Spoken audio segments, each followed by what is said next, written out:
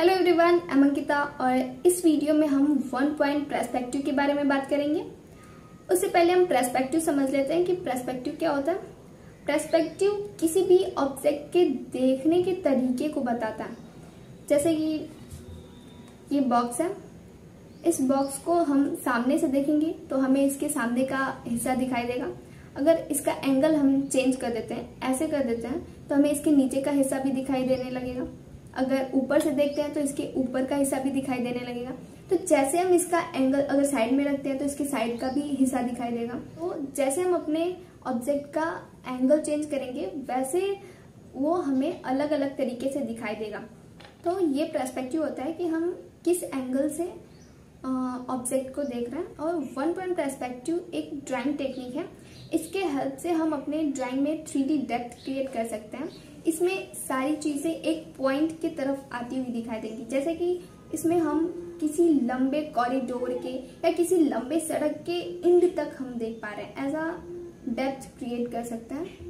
और perspective one point भी होता है टू पॉइंट भी होता है थ्री पॉइंट भी होता है फोर पॉइंट भी होता है फाइव पॉइंट भी होता है। पर इतना ज़्यादा हमें यूज़ में नहीं आता है आर्ट में। वो ज़्यादातर आर्किटेक्ट लोग यूज़ करते हैं। हमें बेसिकली वन पॉइंट और टू पॉइंट तक सीखने की ज़रूरत है। हाँ उससे ज़्यादा अगर इसमें आगे तक प्रस्पेक्टिव सीखना चाहते हैं तो आप थ्री पॉइंट फोर पॉइंट तक जा सकते हैं पर वो काफ़ी बाद में आता है। बिगनिंग में हमें वन पॉइंट और टू पॉइंट तक समझने की ज़रूरत है। तो इस वीडियो में हम वन पॉइंट प्रस्पेक्टिव को प्रैक्टिकली करते हैं। सो so, स्टार्ट करते हैं। वन पॉइंट प्रस्पेक्टिव में हम एक पॉइंट देंगे। इसे कहते हैं वैनिशिंग पॉइंट और यही है यही है वो पॉइंट जिसके तरफ़ हमें सारी चीज़ें आते हुए दिखानी है। जैसे कि इधर कोई बॉक्स रखा हुआ है, या फिर तो कोई भी ऑब्जेक्ट हो, वो एक बॉक्स में आ जाएगा। तो हम बॉक्स सिंपल होता है स्टार्टिंग में समझने के लिए तो हम पहले बॉक्स पे ही समझेंगे।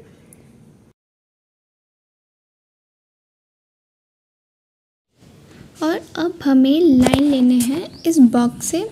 उस पॉइंट की तरफ़ हमें सारे लाइन उस पॉइंट से मिला लेने हैं।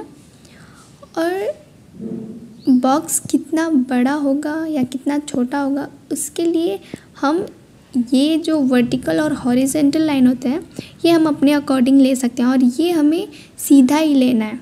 क्योंकि मैक्सिमम लोग इसे टेढ़ा ले लेते हैं, जिसकी वजह से ये गलत हो जाता है। तो वो हमें सीधा ही लेना है। अब जैसे ये बॉक्स नीचे है तो इसके ऊपर का हिस्सा हमें दिखाई देगा। इसको भी हम पॉइंट से मिला लेंगे, पर ऊपर का हिस्सा कितना हमें दिखाई देगा, वो हम अपने अकॉर्डिंग रख सकते हैं कि कितना बड़ा हमें बॉक्स चाहिए। और ये हॉरिजॉन्टल और वर्टिकल लाइन ये हमें सीधा ही लेना है, क्योंकि यहाँ पे हमें कन्फ्यूज़न होता ही होता है, और हम इसे भी टेढ़ा ही ले लेते हैं। तो हमें टेढ़ा नहीं लेना है, ये हमें सीधा ही लेना है।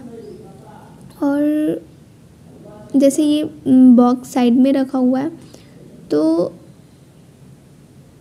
इसके साइड का हिस्सा हमें कितना दिखाना है, ये हम अपने अकॉर्डिंग रखेंगे। और बॉक्स क्यूब हो स्क्वायर हो, कोई भी शेप का हम बॉक्स ले सकते हैं, उस पर प्रैक्टिस कर सकते हैं। बस वन पॉइंट प्रस्पेक्टिव में यही होता है कि सारे बॉक्स हो या फिर तो ऑब्जेक्ट कुछ भी हो वो उस पॉइंट की तरफ़ आते हुए हमें दिखानी होती है। और फिर बाद में हम ये एक्स्ट्रा लाइन इरेज कर सकते हैं। ये हमें इतना प्रैक्टिस कर लेना है कि फिर बाद में आ, हम इमेजिनेशन से कर सकें कि मान लिए लीजिए इधर पॉइंट है तो हम इमेजिनेशन से उसी डायरेक्शन में अपने लाइन को लेंगे। इमेजिनेशन करके। हमें ये पॉइंट लेने की ज़रूरत नहीं है हम मान लेंगे यहाँ पे पॉइंट है और हमें इस डायरेक्शन में ही आ, इस एंगल में ही अपने बॉक्स को बनाना है या फिर तो कोई भी ऑब्जेक्ट हो उसका एंगल हमें इस साइड लेना है। ये बहुत प्रैक्टिस करने के बाद वो हो जाता है पर स्टार्टिंग में हमें ये कई बार करके ऐसे बॉक्स पे प्रैक्टिस करनी है। ताकि हमारे दिमाग में एकदम छप जाए